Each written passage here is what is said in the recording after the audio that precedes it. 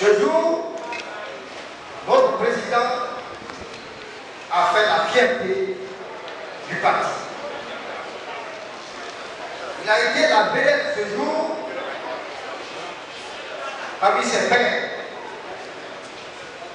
Il a fait la fierté de la Guinée tout entière. Le président guinéen a Fakonde, au cours de son adresse, a exprimé haut et fort certaines vérités que ses collègues expriment bas. Exemple, quand il dit comment pouvons-nous parler d'indépendance financière quand l'Union africaine est financée par l'Union européenne? C'est une vérité. Car nous devons compter sur nous-mêmes. C'est le premier trait de la conscience du développement. Compter sur nous ne veut pas dire aussi repousser, rejeter la coopération internationale. Ensuite, notre président, tout en prônant l'intégration africaine, le président guinéen explique que les problèmes entre pays ne doivent pas influencer sur les relations économiques comme c'est le cas maintenant. Parce qu'en Afrique, quand il y a une usine qui peut alimenter trois pays ou deux pays, dès qu'il y a un problème, chacun ferme ses frontières.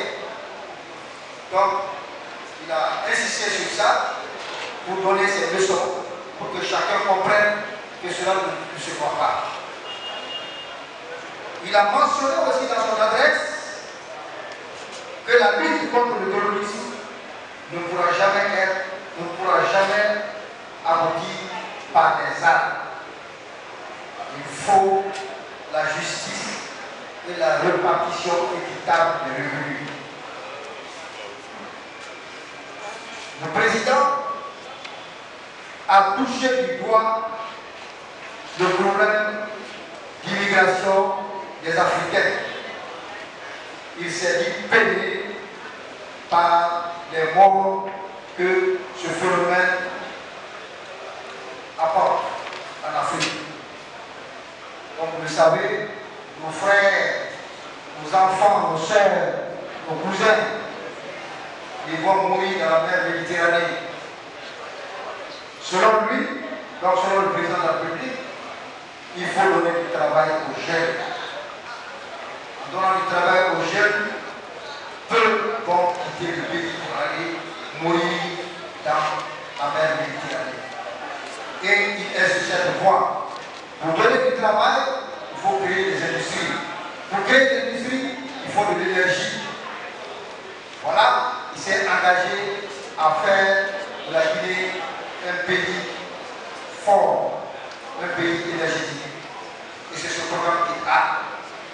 On ne peut pas créer des industries sans énergie.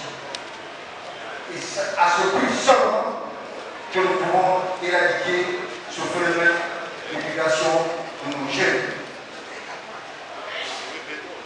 Parce que, il dit que quand il s'agit de nous, on parle d'immigrants.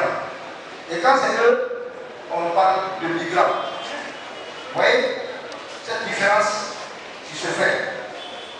Donc le président de la République aussi a parlé des grands projets et des grandes réalisations de notre gouvernement dans le domaine de l'agriculture, de l'énergie, dans le domaine de l'industrie.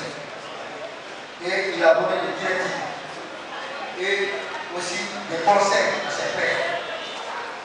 C'est pourquoi la direction nationale du parti, par ma voix, félicite et encourage le président de la République pour son discours d'addition à l'occasion la conférence interafricaine. Un discours historique. La direction nationale déclare est à ses côtés, jour et nuit. Il l'accompagne toujours dans la réalisation des ambitieux programmes que nous nous sommes fixés ensemble pour le bonheur